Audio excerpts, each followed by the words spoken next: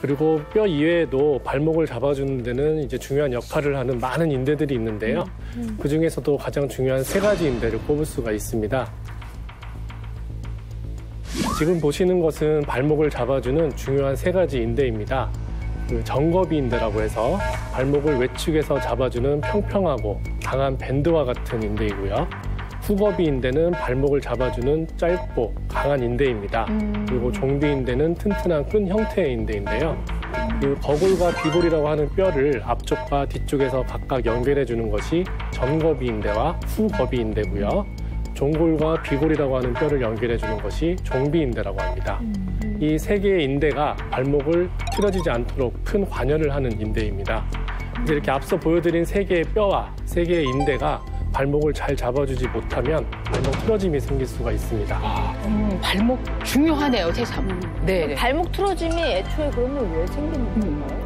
네, 발목 틀어짐은 우리가 흔하게 겪을 수 있는 어떠한 사건으로부터 시작할 수가 있습니다. 어허? 건? 어떠한 사건으로부터 시작할 수가 있습니다. 건? 흔하게 겪는 사건? 사건에 휘말려? 발목. 경찰을 불러야 돼.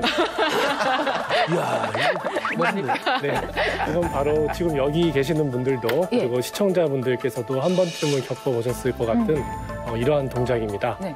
한 번도 겪지 않은 사람은 있어도 한 번만 겪은 사람은 없다고 하는 이거. 오. 제가 한번 보여드리겠습니다. 예. 네. 어? 오! 아! 놀래라. 어? 오! 아! 놀래라. 어? 오! 아! 놀래라. 그거 아, 이 발목 오, 접촉해서 헐리우드 액션 뛴다 이런 거 아닐까요? 그렇죠. 삐끗. 하이힐 신으면 뛴다. 저는 그렇죠.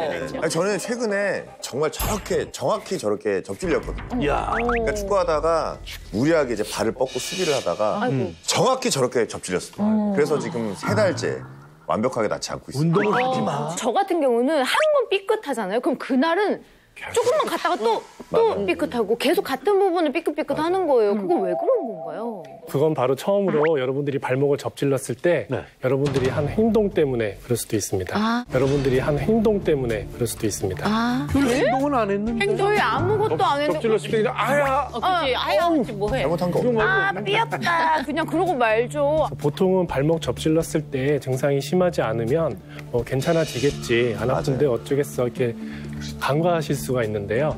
이런 발목 증상이 계속된다면 병원에 꼭 가실 필요가 있습니다. 음.